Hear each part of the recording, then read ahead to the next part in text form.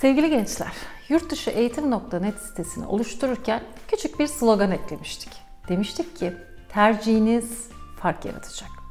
Gerçekten doğru tercih yapabilmek, bunun sonrasındaki kazanımları elde edebilmek hiç de kolay değil. Peki gelelim bu tercih noktasına. Bu kadar dünya büyükken, bu kadar İngilizce konuşulan ülkeler varken, bu ülkelerin içerisinde birçok birçok dil okulu varken siz bu dil okullarından hangisini nasıl seçeceksiniz? Nasıl doğru karar vereceksiniz ve nasıl doğru tercihte bulunacaksınız? Biraz aslında gelin 360 derece bakış açısıyla birlikte olaya bakalım. Ben sizin yerinizde olsam bir kağıt kalem alırım önüme.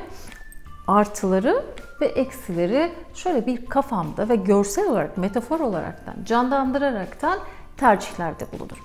Şimdi öncelikle dikkat edilmesi gereken herhalde lokasyondur. Yani gideceğiniz ülke. Gideceğiniz ülkenin konuşulduğu dil, sizin aksanınıza uyacak bir dil yapısında. Örneğin Amerikan İngilizcesi, İngiliz İngilizcesi, Kanada İngilizcesi, Malta'da gideceğiniz bir İngilizce. Bunlar sizin kariyer planlarınızda doğru adımlar mı olacak? Bence oraya bakın derim. Yine lokasyon çok önemli. Çünkü lokasyonu seçerken aslında ulaşım maliyetlerini de eklemiş olacaksınız. Belki buradan bir uçağa bineceksiniz. Gittiğiniz ülkede aktarma yapacaksınız. Belki otobüs kullanacaksınız, belki tren maliyetleri olacak. Aslında seçerken lokasyonu düşünürken içerisine ulaşım maliyetlerini de bir yönden hesap etmeniz gerekli. Ee, diğeri ve en önemlisi bence okulun kalitesi. Şimdi hakikaten bizim ülkemizde de dil kursları çok, dünyada da her ülkede de dil kursları çok. Şimdi burada kalite e, çok ama çok önemli. Dolayısıyla bu kaliteyi e, sentez edebilmek için ben olsam öncelikle şunu yapardım. Bir web sitesine bakarım. Web sitesindeki öğrenci yorumlarını takip ederim. E, dijitalde ya da sosyal medyada paylaşımlarına bakarım ve sonrasında size sunduğu programlarla eşleştiririm. Ve mutlaka çevremden o okulla ilgili bilgi toplamaya çalışırım. Çünkü zaman harcayacaksınız, bütçe ayıracaksınız. Gideceğiniz okulun kalitesi belki sizin hayatınızı değiştirecek bir aksiyona dönüşecek. Sonrasında e, programın içeriğine bakardım. Yani siz yoğun İngilizce alabilirsiniz, iş İngilizcesi alabilirsiniz, belki mesleki bir İngilizce alabilir, tıp İngilizcesi, hukuk İngilizcesi, business İngilizce ya da belki bir sertifikasyon programı olabilir. Bunlar da sağladığı, size sunduğu imkanlar neler olacak? Bunları mutlaka mutlaka kontrol etmelisiniz. Eğer gittiğinizde e, bir size sunulan program doğru vaatlerde bulunmuyorsa tamamen bir hayal kırıklığı olacak. Belki boşa harcanan bir program olacak. Sonrasında sunulan e, eğitim maliyetleri. Yani size tüm bunların yanında e, ek çalışmalar, ek dersler sunacak mı? Bir programa para öderken bunun yanında size sağladığı sosyal imkanlar, e, ek çalışmalar imkanı sağlatabilecek mi? Çok ama çok önemli kavramlardan bir tanesi. Örneğin dil kulüpleri, konuşma kulüpleri, e, sosyal hayata çıkartıp sosyal hayatın içerisinde size bir şey yaptırma ve aktivite kulüpleri. Yani hep konuşma becerinizi ilerletebilecek bir çalışmanın içerisinde sizi dahil edebilecek mi? Bence çok önemli. Lütfen dil okuluna bakarken bunlara da bakın deriz. Tabii başlangıç tarihlerini de hesap etmeniz lazım. Yani sizin başlama tarihiniz okulun başlama tarihiyle eş bir zamana gelecek mi?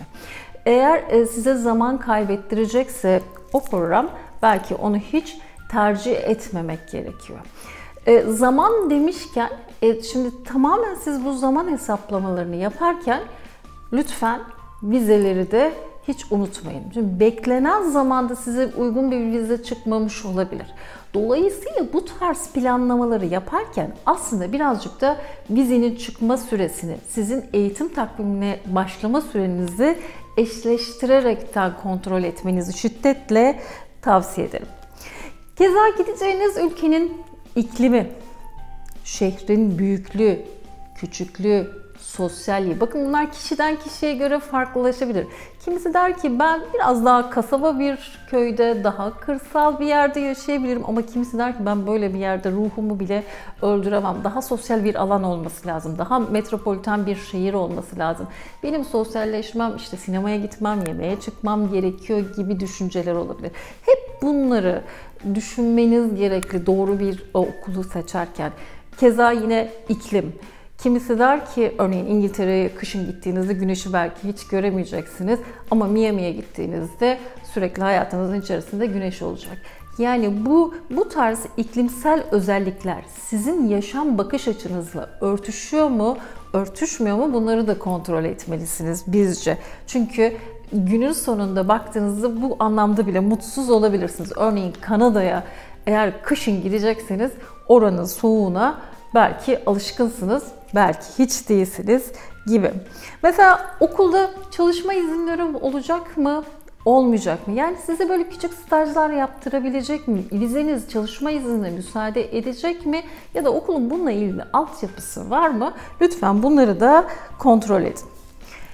Konaklama seçenekleri. Şimdi gittiğinizde tabii dil okulları size birçok alternatifler sunacak. Hep anlatıyoruz, her zaman anlatıyoruz. Diyoruz ki aile yanlık konaklama seçeneklerden biri. Okulun sunduğu yaşam alanları seçeneklerden bir tanesi. Bunlardan hangisi sizin kültürel yapınıza ya da bütçenize ya da e, elde etmek istediğiniz bilgi birikimine eşleşiyor ve doğru kullanımını sağlıyor. Lütfen bunları da size sunulan programda konaklama seçenekleri arasında mutlaka kontrol edin. Evet, benim çok önemsediğim konulardan bir tanesi de yani bu üniversitede de önemsiyorum. Oğlumu okula gönderirken de önemsemiştim. Dil okulunda herhalde daha da önemserdim diye düşünüyorum. Gideceğiniz okuldaki Türk oranı nedir? Lütfen bunları bir kontrol edin. Eğer siz Türklerle dostluk edip Türklerle beraber her şeyi yaşayacaksanız o, o zaman buradan yabancı bir ülkeye gidip İngilizce öğrenme gibi bir e, çabanın içerisine girmenizin hiçbir anlamı olmayacaktır. Dolayısıyla gittiğiniz, seçtiğiniz dil okulunun içindeki Türk oranını, Türkçe bilme oranını lütfen kontrol edin. Belki talepte bulun, belki dönemlerini değiştirin ya da oda arkadaşınızı farklı bir kimlikten seçin. Çok ama çok etkili olacaktır sizin dil yapınızı geliştirme noktasında. Aynı zamanda e, farklı öğrenme yöntemlerini dil okulu size nasıl sağlıyor? Yani siz 14-15 kişilik bir sınıfın içerisinde karman karışık bir seviyede bir eğitim mi yapacaksınız? Seviyeleriniz ayrılacak mı? Bu seviyeye uygun materyaller size sunulacak mı?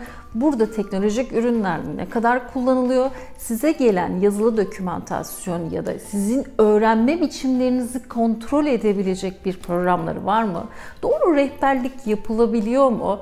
Sonrasında size sağlanacak imkanlar neler?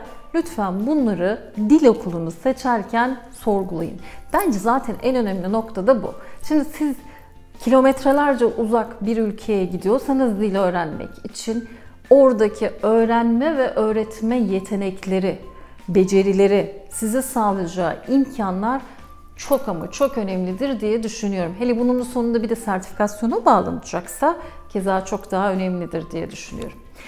Tabii en sonrasında veya ilk başında da ilk bakmanız gereken belki sizin için eğitim maliyetleri olacaktır.